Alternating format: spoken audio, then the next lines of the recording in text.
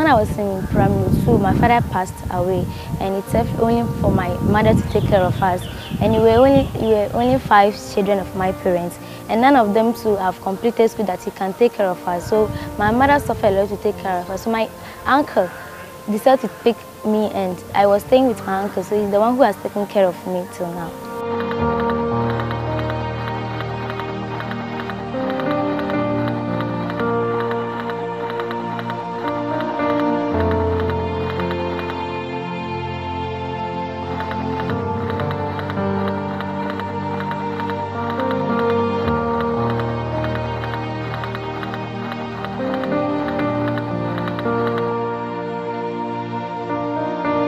My name is Ejamo. I'm a fisherman, but I'm old now, and this time I'm home, not doing anything. Frederick Amo is my son. At first, his studies was very bad. He repeated severally in school and decided to stop schooling. He came back home one day and told us that some people came to visit them and they talked about scholarship.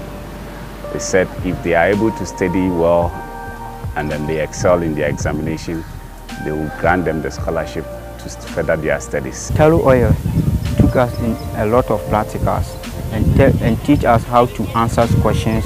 It helped me a lot. Now I'm standing here, I'm in SHS at ACMA SETEC offering science because I want to become engineer in future. I am a former student of Aguna Model School and I am now in Wesley Girls High School. STEM project was introduced to us when we were in Dewey and it has been of immense help to us the students in Aguna Model School, especially me. By God's grace, when I was coming here, we were taught a lot and when I wrote the BEC, I got aggregate 6 and I am now in Wesley Girls High School.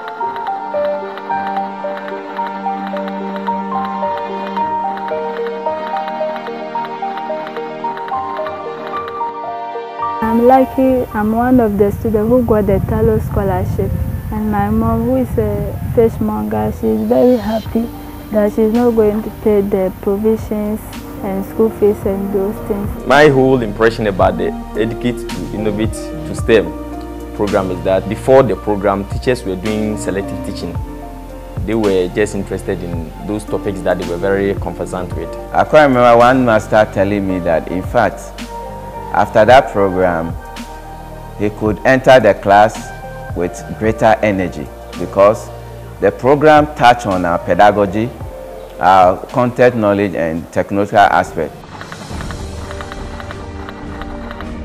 We, in terms of performance in the area of their BEC and the scholarship the children have had, it's so marvelous. The BEC results we had, that's last year, 2019, you could see that the results were so fantastic and even the whole of Jomoro, parents who heard of it are so, so surprised that so our children could do this. ɔyɛ mmoa a wɔde aba bɔn ne awɔfo yi because ne yɛ yɛn susu bɛnyame ayɛ adom ma ne nyinaa wabɛm dɛm a yɛda mpanyinfo nyinaa ase tɛlɔfoɔ ne nana ne wɔn a wɔkeka ho nyinaa yɛda wɔn nyinaa ase. I personally am grateful to Youth Bridge Foundation and Talu Ghana Limited for the massive support uh, towards our children here. Uh, my expectation is that they will do more for us. I would like to thank Tullow Oil Ghana Limited and Youth Bridge Foundation and all the teachers in Aguna Model School for their teaching and support to us, the students.